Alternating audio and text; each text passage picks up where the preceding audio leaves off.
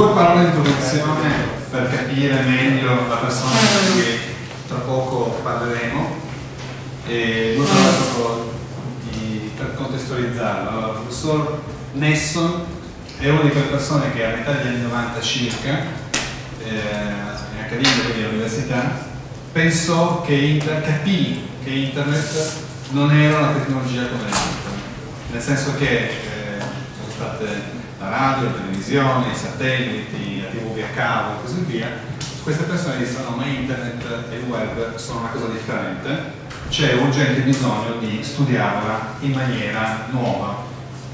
E, che cosa era nuovo ormai a questo punto a fine corso penso sia chiaro, che una rete decentralizzata, aperta, che connette le persone tra di loro sia punto punto come il telefono, uno a molti come nel broadcast e in tutte le altre possibili configurazioni, globale, ottimizzata per niente di specifico come abbiamo appena detto, quindi che può fare in realtà qualsiasi cosa, effettivamente nuova, non c'era prima.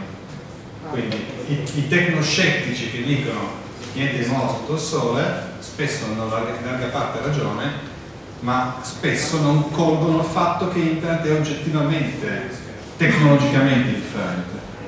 E la seconda cosa è che internet è basata sul fatto che sono tanti nodi, miliardi di nodi, sono centinaia di migliaia di siti web, centinaia di milioni di siti web, fatti specialmente in quegli anni, il ciberspazio, metà anni 90, era fatto da persone come me e voi, non era fatto da grandi aziende, le grandi aziende sono arrivate dopo, gli stati non parliamo, quindi era uno spazio costruito da persone individuali, associazioni, organizzazioni, che in larga parte lo facevano perché ci tenevano a farlo, quindi senza una motivazione economica, e insieme costruivano un nuovo ambiente, siti sui pirati, enciclopedie, eh, forum tra i più disparati, tutte le perversioni e gli interessi umani erano riflesse online.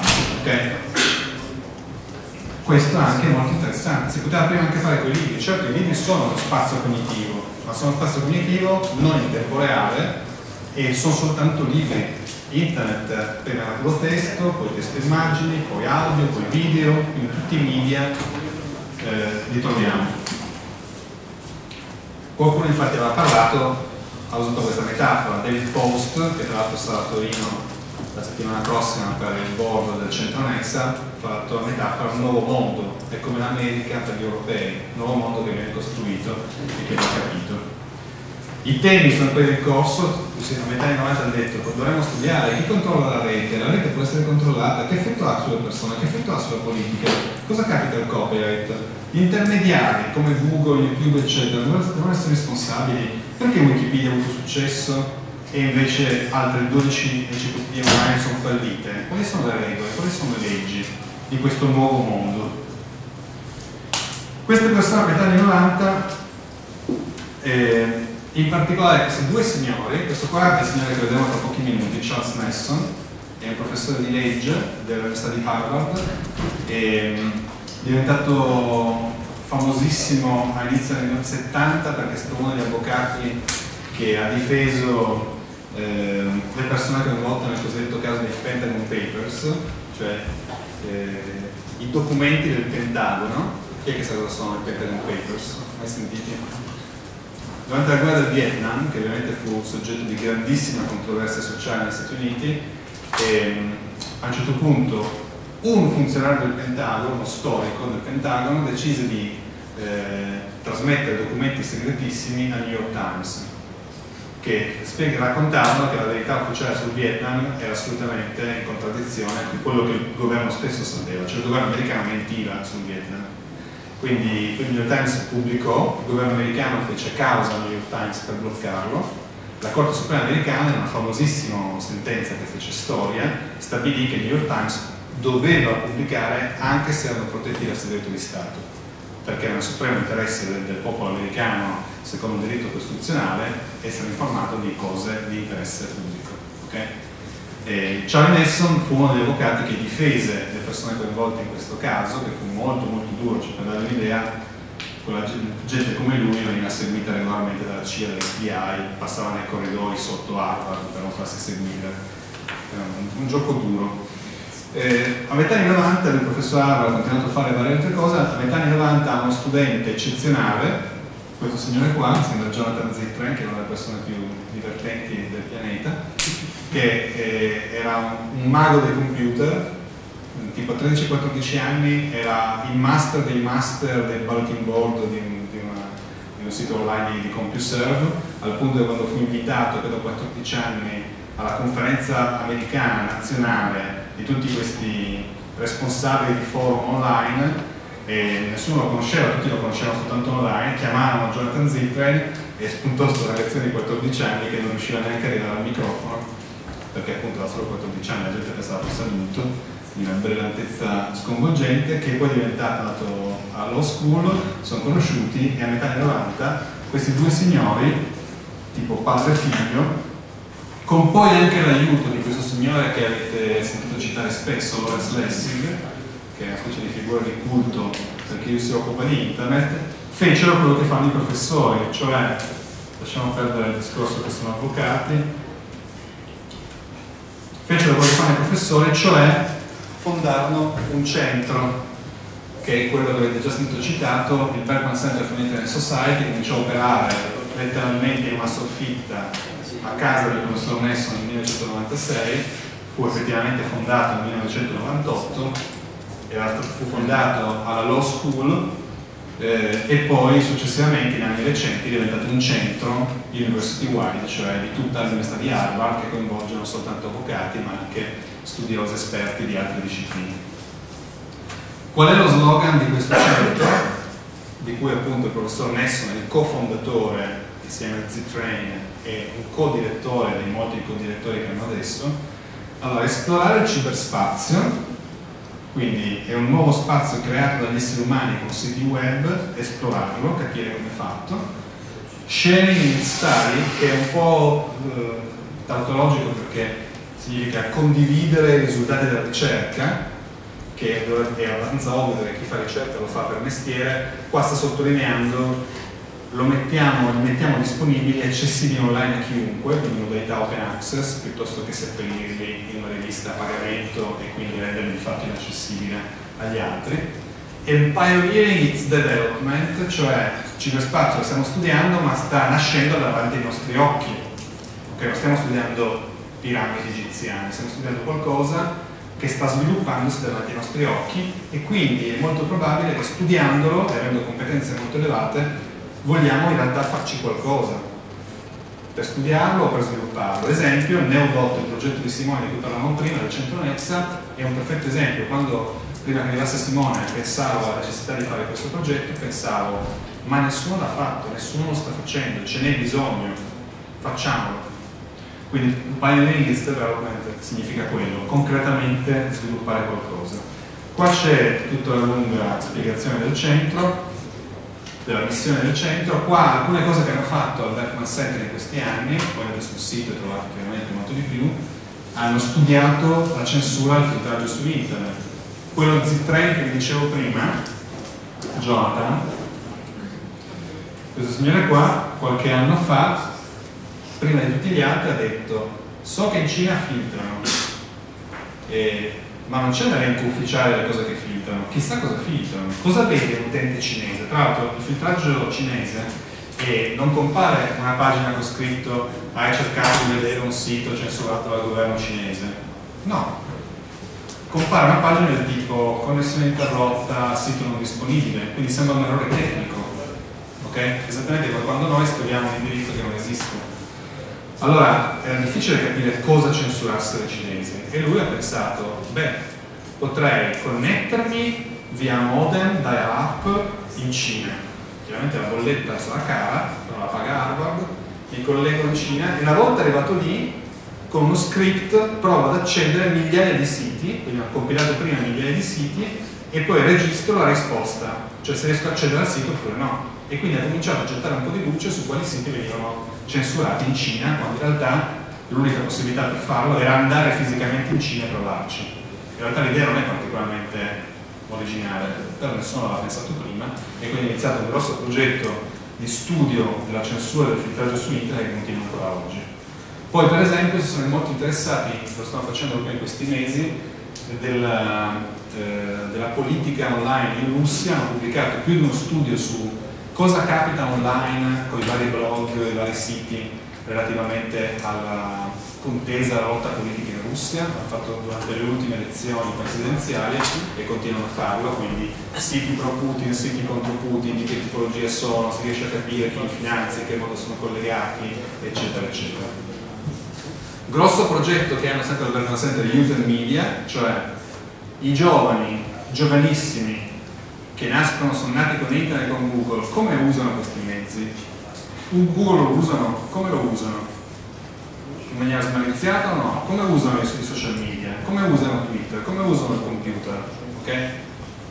E quindi andare di là degli aneddoti, chiunque dei figli piccoli ha degli aneddoti, ma provare invece a produrre qualcosa di più, di più sistematico. Per esempio, quando un bambino di 8 anni va online e trova un sito, magari la trova tramite Google, riesce a capire che strumenti ha per capire se il sito è un sito completamente inaffidabile oppure se è un sito affidabile.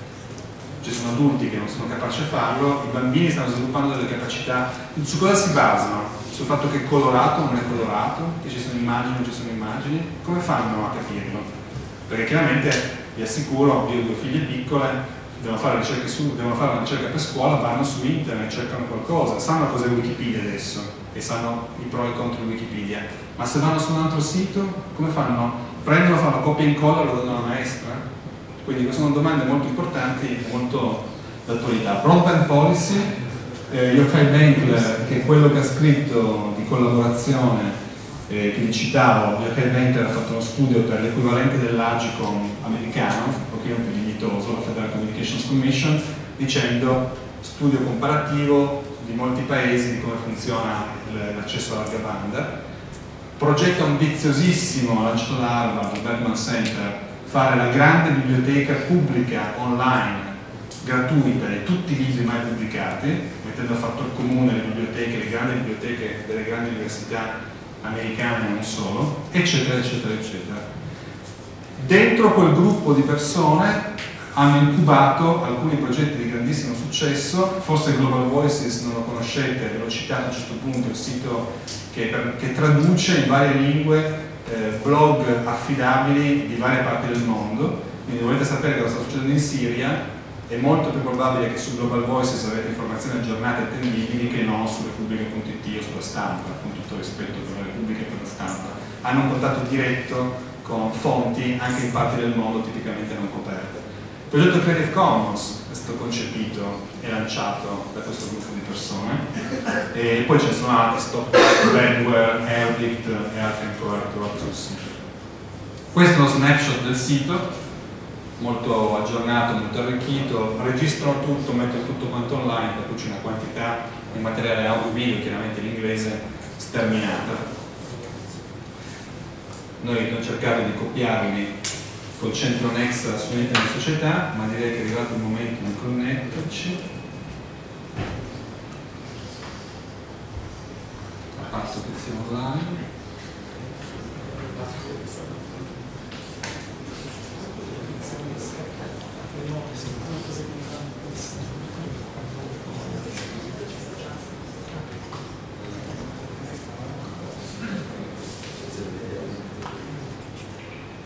Allora, aspettiamo che arrivi il professor Nesson che so che ha una conferenza.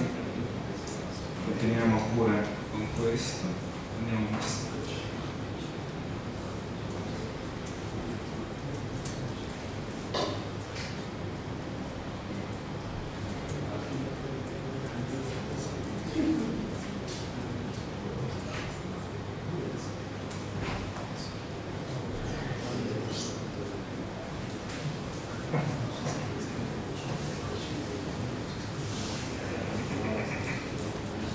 Vi dicevo che il centro Nexa, che vi ho già citato svariate volte per ovvi motivi, è stato, si chiama allo stesso modo For Internet Society, chiaramente noi siamo Nexa, che è latino per le cose connesse, Nexus, Nexa, le cose connesse ovviamente ci interessiamo di reti.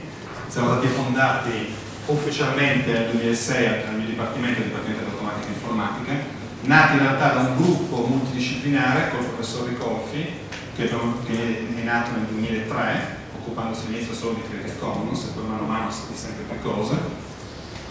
Il nostro slogan assomiglia all'altro, però è un po' diverso, Study the Internet. Ok, ci siamo.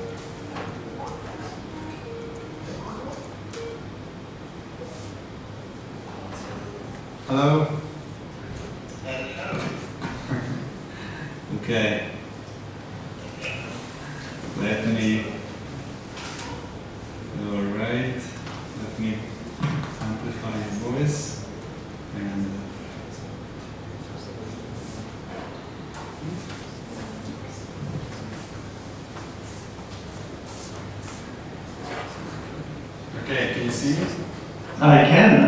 Can, see you just fine.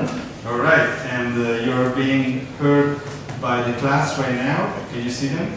I can indeed. Hello, hello. I've uh, just finished introducing you and the Berkman Center, so they know at least the basic facts about you and the Berkman Center. Excellent, excellent. So Well, hello. Thanks a lot for finding the time. I know you're, you're busy with the conference. Thank you for giving us some time. Yes, you're more than welcome. Uh, let, me try and span the entire arc of the Berkman Center. We started Berkman Center with uh, hold on, let me, can, can you mute your end so that I don't hear the feedback when Yes, no, we, we hear you just fine. Oh, okay, all right. So, uh, we started the Berkman Center with a conception of cyberspace. The idea of a new environment that didn't exist before we began, and that actually needed to be built. It was like a perception that cyberspace is constructed. And when we thought about the nature of that construction, the fundamental order in the space was between open and closed, were bits that one could access in space, open and free to be accessed and used, or were they closed in such a way that you had to pay for access to? This is like fundamental border in space. Translates in all into public domain and copyright. And the Berkman Center recognized that as cyberspace was to be built, there were going to be plenty of players who were interested in building closed environments, for-profit environments, copyrighted environments. And that, in fact, there would be a great need for a center that would focus on the open side of things, the openness of free code, the openness of fair use, the openness of the public domain. And so that was, that was purpose, uh, which started. It's actually what we brought to Florina in 2005, and uh, Carlos invited our faculty to and teach. And I'm very proud to say it's the same spirit Juan Carlos has carried on so wonderfully with Nexa and with Kamuna, and indeed with course. So that's the foundation. If now just come right up to the present, well, where are we? What is the issue? The, the connection that I would like to make uh, as strongly as I can is the connection between your notion of library what is a library? How does a library work? And the internet. In effect, the perception is that the internet has become a library. And to the extent that there is a free internet, that is the equivalent of public parks, national parks, international parks. And that way in which those need to be built is a combination, combines the skills of engineering and the skills of lawyers. Cyberspace is of law and engineering. And in particular, the biggest threat to public space in the internet comes from law, comes from litigation, comes from the fear of being sued. The idea that if you use some bit or bits in space, that you may be vulnerable because you didn't get permissions that you needed, and you may wind up being sued. It's a, a huge problem now in the United States, and I uh, think it's growing all throughout the world. And so the biggest enterprise Berkman Center is now embarked on is something called Digital Public Library America.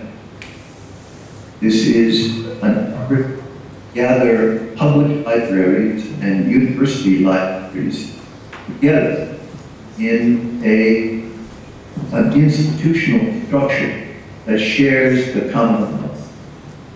It's an enterprise that has reached out and is partnering with Europeana, which is uh, uh, the, European equivalent of which we hope to extend uh, uh, very widely uh, all over the globe.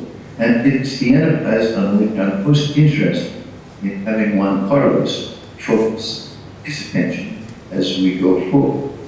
So with that, Juan Carlos, let me ask, a use Europeana as a library relating to libraries in the United States and uh, together relating to the issues of copyright.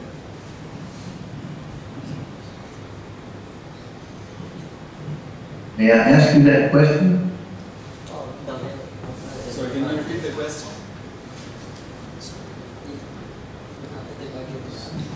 Juan Carlos, are you there? Yes, I'm, I'm here. Can you hear me?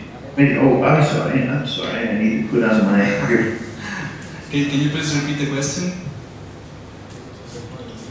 Say it again, I missed what you were saying. Uh, can you repeat the question, please? You were asking a question, right? Yes, yes. I'm, I'm, I'm wanting you to uh, offer your thought on how uh, Europeana, as a, a European library system, can relate to our Digital Public Library of America with, relate, with respect to copyright. Uh, as far as I, as far as I can tell, because I've not been following Europeana closely, uh, Europeana is a bit less ambitious in the sense that it's uh, just um, trying to, to be a gateway, a portal towards um, digital objects uh, digitized by individual libraries throughout Europe. So, in this sense, as far as I can tell, uh, DPLA is more ambitious because they try to actually offer the digital objects. But maybe you can correct me because DPLA has not been completely clear to me. Uh, well, uh, you're absolutely right. In, in fact, that is the issue that's effectively on the table here now as DPLA goes forward. Will it be a repository uh, itself or will it really just provide links? But part of it that you know I'm most concerned with, Juan Carlos, is the threat of litigation. The idea that if something is in a library, it, it seems to be available for use. but it doesn't come with any guarantees. And the question that I'm concerned with myself is whether there is a role for lawyers who've done so much work with Creative Commons and other facets of code in actually creating a registry that would be legally defendable. Uh, yes, I, as you know, I, I share your, um, your, uh, your view. Uh, the feedback I got in Europe is that um, in Europe we don't have punitive damages, so actually the cost of um, infringing copyright, the danger of infringing copyright is not as extreme as in the US. And therefore, uh, they understand what we're talking about, what we're proposing, but um, they don't feel it's uh, as necessary or as urgent uh, as uh, instead uh, we feel on the other side of the, the ocean in the US. Aha. All right, now may I ask a question of your class? How many of you play poker? Quanti di voi giocano a poker? I would say about uh, one third or maybe more, maybe one half. Uh-huh. Let me, let me see the hands of those who do not know how to play poker. Eh, chi non sa giocare a poker non sa giocare. Ok, I would say maybe 10 people. Um, may I ask whether your class would like to learn to play poker? Eh, chi non sa giocare a poker vorrebbe imparare a giocare a poker? Lui è un grande giocatore di poker. yes, I, I see smiles, so I think so, yes. Well, uh, I would say the other central element of the Berkman Center is the idea that the building of the internet is like a poker game. Uh, the world is rhetorical. It's about arguments. And the way in which arguments are put forward are very much like the way poker is played. And if uh, I had the opportunity, I would love to teach you how to play the game. it, it is, it is the, the American game, and uh, it's an excellent game for purposes of learning how to deal with risk and aggression and bullying and uh, adversaries. It's an adversary game.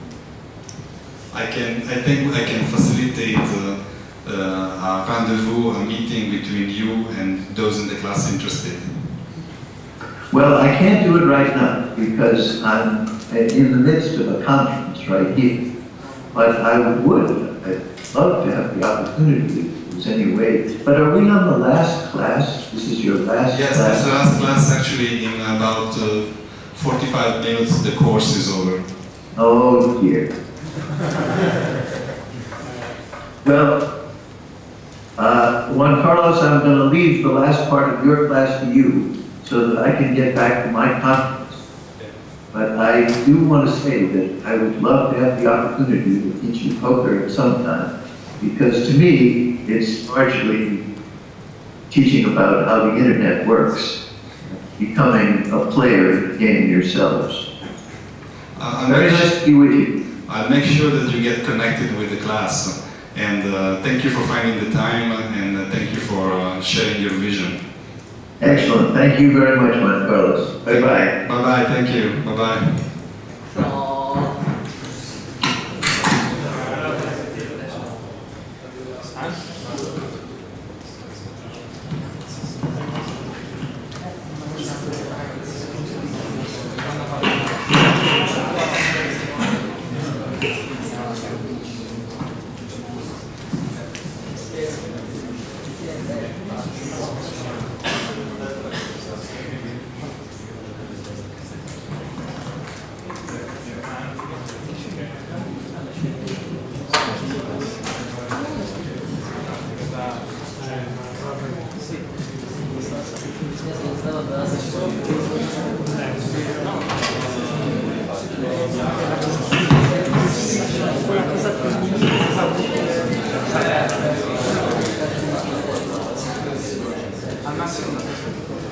Allora, ehm, qualche commento eh, su, anche breve sintesi per chi non avesse seguito completamente in inglese. Ehm, partiamo dalla fine, chiaramente gli piace il poker e lo usa come metafora di... Secondo me il poker è un gioco profondamente educativo, cioè lui è profondamente convinto che imparare a giocare a poker in maniera assolutamente avanzata come fa lui è di grandissimo insegnamento non soltanto per gli avvocati, lui insegna alla law school, e secondo lui molto di quello che fanno gli avvocati è giocare a poker, cioè far finta di, di insomma, bluffare, giocare con le aspettative dell'avversario e così via, ma più in generale ritiene che sia di grandissima utilità pedagogica per chiunque, lui insegnerebbe ai bambini di 5 anni.